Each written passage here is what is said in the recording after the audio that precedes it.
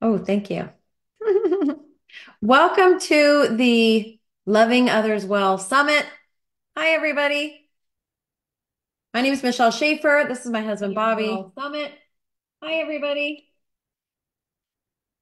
Schaefer. This is my husband. Just making Summit. making sure that we are live on Facebook as well. It looks like we are. So, hello, everybody on Facebook. We're uh very, very happy to be here with you guys tonight. And we are doing a three day summit. Anybody is welcome. Um, this is hosted by Girl Power Alliance and Real Men Alliance. And we're just, uh, we're excited to come here tonight and share a couple of things with you. 30 minutes, all three days and nights that we're going to be coming together with you. We're going to be talking about loving others well, being that it's Valentine's Day in a couple of days. Yes, it is a Hallmark holiday, but it's still a great opportunity to uh, take the time to tell the people that you love that you love them. Maybe do something a little extra special.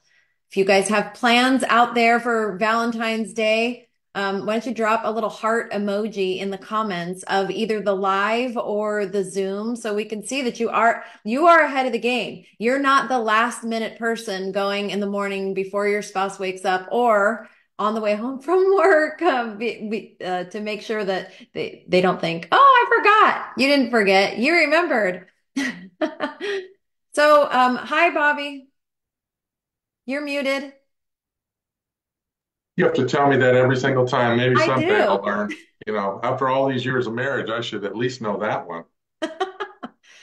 Uh, just a little bit of background on us before we get started tonight. Um, I, Bobby and I have been together this year will mark 24 years, uh, 22 years married, 24 years together. And we met on a blind date. And our marriage, we're both entrepreneurs. So that's a whole, we should have done a whole being married and being entrepreneurs. It's a whole separate conversation.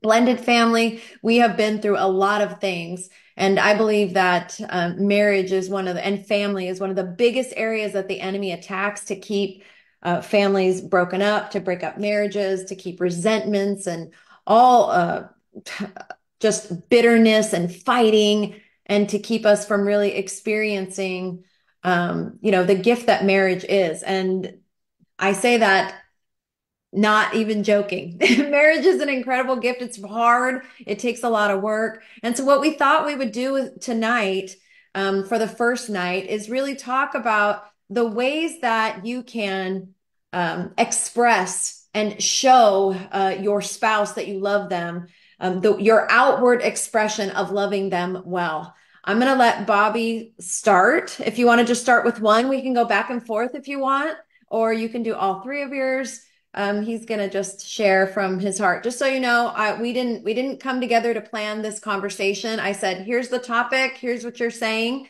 and that was the extent of our planning. So, go ahead, babe. Did you just say here's and here's what you're saying? So in other words, you scripted out exactly what I need to say. I I wish I wish could do that do for that you. me sometimes. I wish. Um, it- she's right. We did not script this. I'm not, I'm, for one, I'm not the type of person that wants to put information out there at all with that's completely scripted. I mean, there's some things you got to do to get information out, but uh, for the most part, we're just kind of off the cuff tonight. Um, and she did mention to me this morning, she said, uh, come up with three ways to how you express your love to me. And, and my answer right off the bat is there's way more than three. I do so many things that shows her, right? No, just kidding. Way Um, more. I, I would almost think, though, that you would need to uh, ask your spouse, how am I showing my love for you? You know, and, and, and I'm sure they'll tell you. I'm sure that he or she will tell you uh, if that's what you really want to know. Uh, but but the things that, you know, I was just talking to one of the Lemon's husband actually this morning, Glenn, and we were talking about, I asked him, I said, how long have you been married? He said five years. Uh, and, I, and I'm thinking back to when we were married just five years, because we're now about what, 20, 21, 22 years? Well, how many years are we married? I'm already in trouble because I don't know exactly how many years, but it's it's over 20 years we've been married.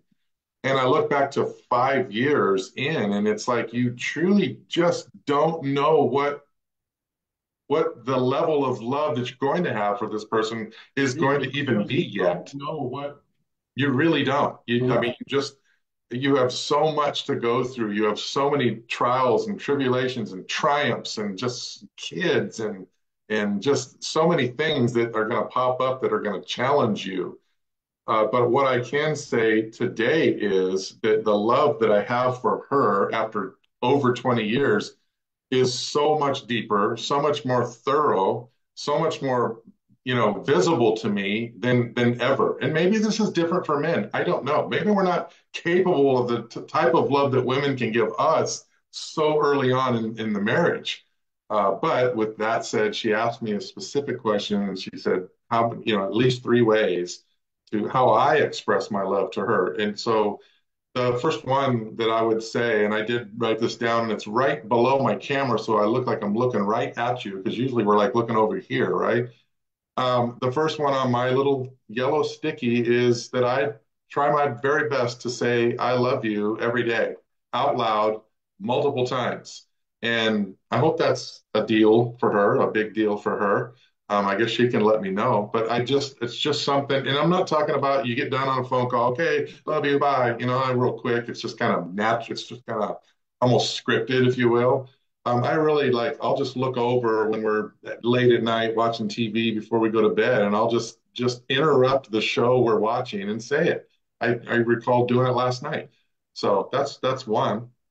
He does. He's very, very good at that. Um, I will say on the receiving end, you know, being together as long as we have, when you have little kids at home, and I think in the early years of your marriage, you're kind of just trying to keep your head above water. I, I really, I, and I say that with like love because I miss it. I'll be honest with you. We have been empty nesters now for two years, which almost makes me cry. And in the thick of, of having all of your children at home, it's hard to think of the things that we're talking to you about now. But if some of the things that we can share with you, no matter where you're at in your marriage, can just add one little thing um, to keep you guys knowing that the other person um, loves you and and really staying focused on the ways that they do that. Bobby is incredibly good at doing that.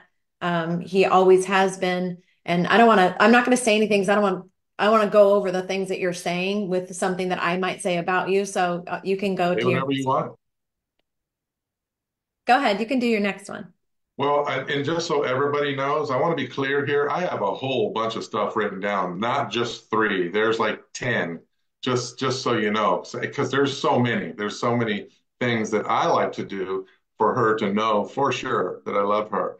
Um, uh, the, I'm, I'm going to go to the very bottom of my list. This was the last one that I put on just before the call here. And I think it's an important one. I think it's important for all of us to make sure that our spouses feel valuable in the roles that they're that they're in within your household, whether they are uh, your wife or husband stay at home, you know, working stay at home, I should say, whether they're, you know, whether a stay at home mom and dad, mom or dad, whether they are out in the working force, um, whatever it is, uh, make them feel valuable. If they're the, the one that's cleaning the house and making the food, well, make them feel valuable. Make them make for sure that they know that you appreciate um, what what you're doing, what they're doing for you. Um, and so I tried my best to make her feel valuable in all the things that she does, including Girl Power Alliance. She's so amazing at at um, you know her communication skills to to all the people here and uh, everything else she does at home too. She's just unbelievable and amazing at what she does. So there's another one for you. Thank you very much. Um, before you get to your third one, I'll, I'll I'll take one of mine. Um, growing up in the in in a Christian household with um, we grew up my generation the generation called Gen X was the was one of the first generations of ha- being a latchkey kid where you had a lot of families had a, a mom that went to work. Um, the generation before they didn't. Moms their job was at home. And so I was we were the first generation that had uh, that had parents that that worked and um, so the the values that came from kind of the Christian home and having a, primarily, usually the mother stay at home was Um, and if you look at like the 50s, women were in service to their husbands. That's that was their job. Their job was to serve their husbands and to serve their household and to keep their house really nice. And then something happened, and um, women became very bitter about that. They know, oh, I'm not subservient. You know, talk about and the Paul talks about that being subservient. You know, serve being subservient to the head of the household. But I will tell you, I find true joy in being in service to my husband and my children. I don't consider it a lesser role or being subservient. It feels like an honor to me to cook for, to take care of the household, to do things that, that, that I, that are natural to me making the you know decorating the house decorating for the holidays um, i do that in the service of my family. And since uh, you know obviously my husband first and foremost um, i find joy in in doing service to him. And we have always been very partner in our relationship. So uh, it, whoever can do whatever it's not that it's not that we actually even mapped it out. Um, but you know like for example the laundry. For many many years i was i did the bulk of that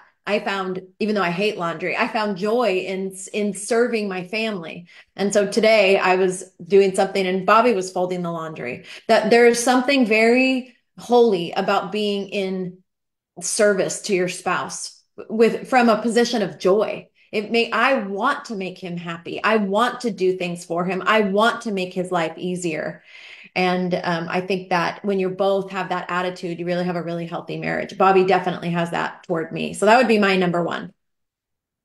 And many of you get to see that toward you as well. Um, she she is a person that makes sure people, like I said, I'd like to make her feel valuable. She makes people feel valuable in this life, and she serves people in this life like over the top, just complete an utter servant for people, and I appreciate about that that about her for sure.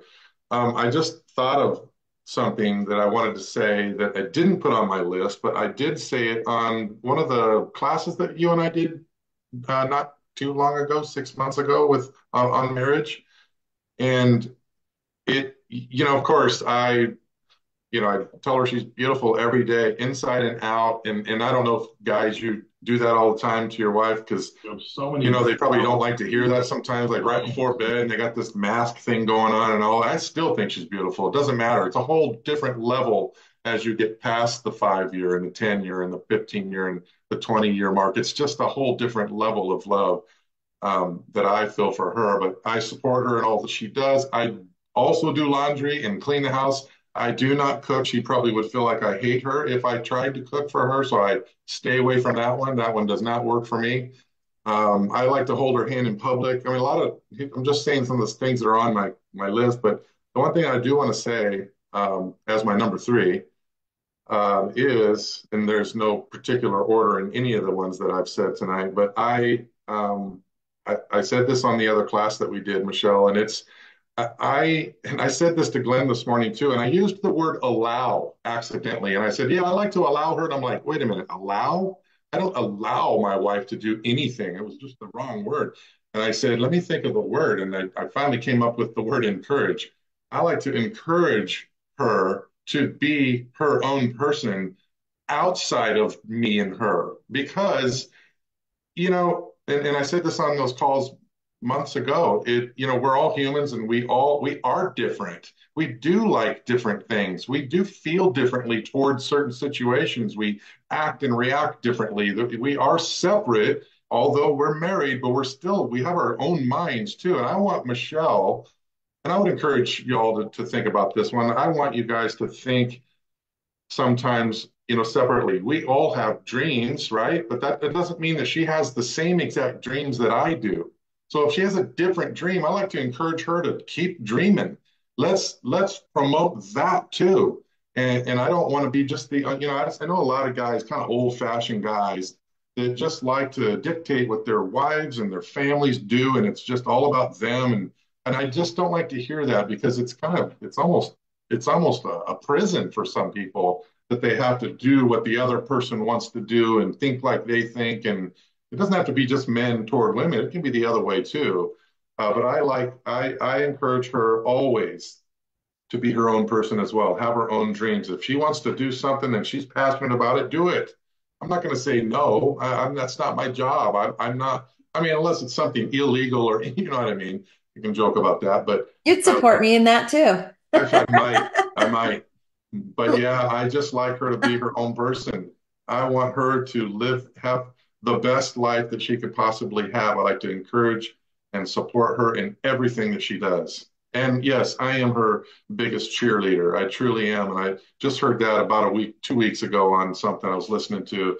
That if your spouse isn't, you're not you're the biggest cheerleader for your spouse, then you need to start being that and, and kind of going in that direction. It's really going to help uh, to have a much better relationship as you move forward. It's really not that complicated. I mean, relationships in general are complicated because we're these messed up beings, right? We come with our own baggage and all our own ideas and everything. But the truth of the matter is, having a good relationship, having a good and healthy marriage, it actually isn't that hard. It's just massive amounts of humility and communication and actually putting the other person ahead of you. And I know that there are a lot of people that are feeling uncomfortable just that I said that. But but part of being a believer and part of the whole the whole following Jesus and learning to, to, as much as you can, emulate the way that he lived and led is really putting other people's needs in front of yours. And, and within the, the confines of a marriage, if you have a husband and a wife that are both doing that, that are putting the other person's needs above their own, can you imagine how fulfilled you would both feel? Because feel because you are putting your needs above his and he's putting his needs above yours. And it just creates this beautiful um, relationship where you both feel that the other person is putting you ahead of them which makes you just want to do more for them right? It's this it's really it's not that complicated. Now the the reason it gets complicated is because we have a hard time expressing our true feelings without resentment and we get offended and we put a, we have a lot of unspoken expectations in a marriage. Um, my number two uh, ways of loving my husband well is getting to know him.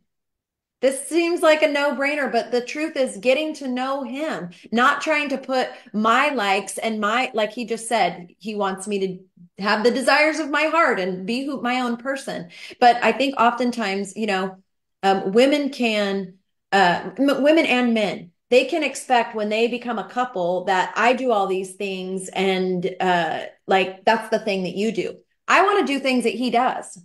Like I want to have hobby. I have my own person, have my own things, but I want to have hobbies together. I want to enjoy the things that he enjoys together. So getting to know the things that he likes isn't it is an important thing to me. It's one of the ways that I want to show him that I care. I'm interested in him. We've been lucky because we've also worked together for many years, but couples that have separate jobs, you have separate lives. You have separate friends at your work, you have separate situations. There it's separate. So if you're not finding common ground outside of just being a parent and being a couple, having commonality in your life, you, you know, things that you enjoy together. We we hike we like to snorkel. We like to you know do adventure trips. And there we have a lot of things that we enjoy to do together as hobbies just because. And you know he has t- tr- attempted things that i've liked. I've attempted t- attempted things that he's liked so that there are more things that we can do as a couple. And so that's that's my number two. Did you do your number three already? I did like 20 or 30 of them, I think.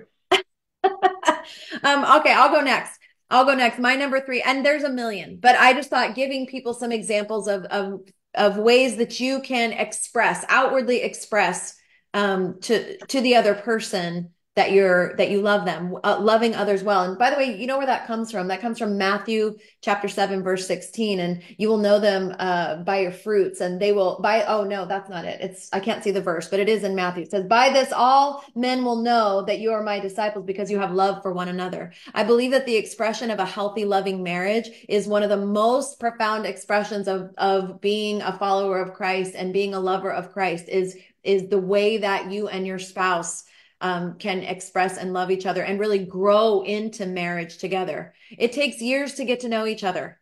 Doesn't happen in the first couple of years. You think it might, but then you throw a child into the mix and now you're getting to know a whole new person. Then as you're growing and evolving in the relationship, new jobs, maybe you go to a new church, maybe you have a, you know, a new experience. You continually are becoming a new person. So you're continually getting to know your spouse Um, I joke, me and Savannah, our youngest, I joke that I can say what I can tell what Bobby's going to say about a situation before she tells him. She's, I'm going to tell dad this. I'll like, this is what dad's going to say. We've been together a long time and we spend a lot of time together, literally. When COVID happened and people came home for the first time and they were working at home together, our lives didn't change. We have been working at home side by side, get up in the morning together, go to the gym together, work at home together, go to events together for the bulk of our marriage we know each other very, very well now and still are getting to know each other, right? Um, anyway, I totally sidebarred on that, but I wanted to um, I wanted to say this another way that I think is really important because many men, if you get the book, um, the five love languages, I think it's an important thing to uh, understand the ways that your spouse receives love. That's important because it might be different you you might be serving them because your love language is service and they like it right? But their real love language is words of affirmation. So here you're just cooking and cleaning and doing all this but you never say something to your spouse because that's the way they receive it. So they're not really being able to receive fully all the acts that you're doing for them. So it's important to understand how they receive love. And statistically one of the main ways that men feel loved is physical touch. Um, so in the confines of marriage, we could do a whole summit on sex and marriage, biblical marriage, because it's there's a lot of hangups, especially growing up in a church where it was like purity, purity, purity, and then get married, and now, you know, be wild in the bedroom, be wild in the bedroom, and it's a hard switch for a lot of people. Number one, number two, there's so many sexual dysfunctions because of uh, traumas or abuse or you know sexual assault so it can be a very complicated thing. Um, but physical touch is an important, very, very important part of marriage um, for especially on the on the receiving side of men.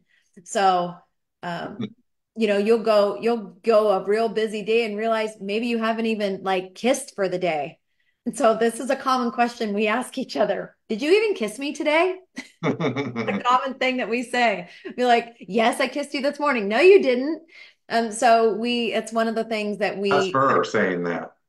just so and just so everybody knows, I don't have any hangups when it comes to sex and all well, that. Stuff, so. Because two out of three women have been sexually assaulted. So the, the I know it is a serious. Yeah, I I know that's that's very serious. It's not the same number and it is a hard switch and you know but there are some amazing books out there. Again this is about open communication kind of letting yourself go. Go read song of solomon in m- many different versions. And that is in the bible. It talks about pleasure and just the act of of your physical bodies giving the other person pleasure. I mean, God created the physical body so that within uh, the intimacy, you can actually bring somebody to the point of pleasure that it's called an orgasm. I mean, that's a that is a that's God designed a body to do that.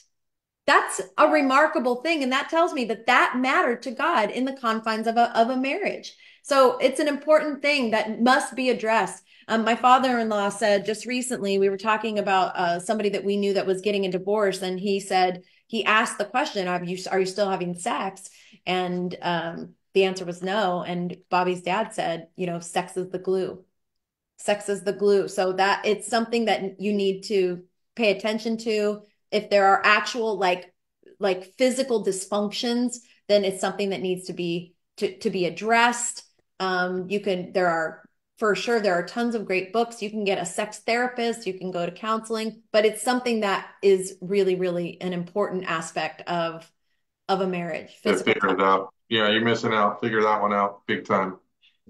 Uh, you know, I was one thing I was going to say too. You probably have stuff to fill out in the next six hours because you you're very good at at getting the news out there. But I wanted to. Uh, I, I did uh, kind of cheat before the call, right before the call, and I just Googled something. Um, you know, like what what how what are ways that men can best love their wives? I Googled something like that. I had to take my I can't see you all now because I had to, I'm looking on my computer at something different. And one of the ones that came up is, is or at least something that, that was in a forum that I was reading.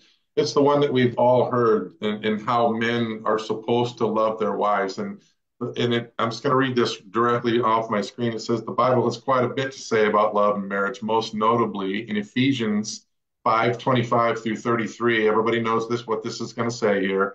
this passage is pretty clear. Husbands, love your wives just as Christ loved the church and gave himself up for her. In other words, he died. Jesus died uh, for for the church, and it's like, gosh, is that what I'm supposed to do? And it says that that's a tall order. Christ's love for the church was sacrificial, unconditional, and beyond the bounds of our human meter sticks. So if we're playing the comparison game, we husbands have some big shoes to fill. And it, it is very true. So I, I just wanted to kind of throw that out there that, you know, if you were wondering how we were supposed to love our wives, that's what the Bible says. Uh, enough to basically die for them and not to dictate them, not to, you know, make them like you and love and do all the things you do and do all the things you say to do and and you know expect that they do or else you know what i mean that's just not what it's that's not what that verse says um, you know, and so I and, and I don't know if this just came naturally to me, probably didn't come naturally, but what it did, but what I saw in my parents, what I saw in my grandparents was exactly what that verse says. So I had I had great examples growing up. Many of you didn't. So if you didn't and you need to know, that's where you need to go check check that verse out in the Bible and know exactly what God expects and how we're supposed to love our wives. So Thank you for that. Uh, I want to say something about that because I didn't have that example. And uh, many, many, many people use that that is their excuse. Well, my parents were this and that. I call BS. You are a grown up and you have to take responsibility for the way that you behave as an adult in your marriage. There is plenty of information out there. There are books, there are podcasts, there's free things, and you know innately what it is to treat somebody well. And just as there are toxic men, there are absolutely toxic females that come in and they try to lord over their whole families. They nag and complain. They never edify their husband. They never let the man feel valued um, in all of the things that they do that are unspoken and small taking care of the yard taking care of the of the cars taking care of the bills um, doing all these little things that are very much expected on the woman's side but never ever actually called out and and edified and said i see you i see what you're doing all these things that seem small that add up to one thing that i don't have to think of I heard it said one time, like, uh, as a woman, you don't need a man, right? Like a man doesn't, we don't need, like we can live and function on our own. But isn't it the most incredible gift to have a partner that takes care of things. So there are some things that you actually don't have to handle. I was a single mom for a number of years. This was very hard for me when we got together and probably still is. Bobby could tell you that, you know, I have a hard time like handing things over because I was so accustomed to doing everything I had to do everything. Then Bobby comes in and he handles things. And it took me years to be able to trust that he was really going to do that, then um, just to let go of things. But what a gift to be able to have a spouse that handles one area of the relationship together on both sides, either the wife or the husband, and, and to trust each other in the taking care of whatever those things are. And I think it's important that you not get wrapped up in roles. Whatever you figure out within your marriage is your role to handle, then it's nobody's business. This is your marriage. It's between you, your spouse, and God. And if anybody outside of your marriage doesn't agree with the way that you guys are doing it, it's literally none of their business. Their, their opinions don't pay your bills. Their opinions don't, you know, stop your arguments. Um, and I would just say this learn the skill of immediate forgiveness Bobby has been the most excellent example of Im- immediately. Like we could have, you know, we don't we don't fight very often anymore. We don't have kids at home. We have way less things to argue about.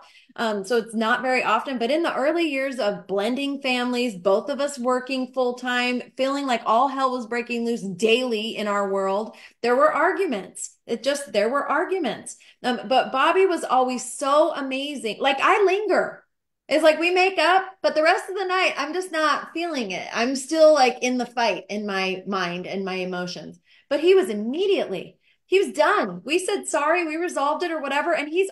He's back to his normal, sweet, happy self. And I was just like, I don't get how you can do that. It's taken many years for me to be able to do that. Like, immediate forgiveness even before an apology comes. If you can do that, your marriage will be so much more um, peaceful within the confines of your home. And that's the only thing that matters.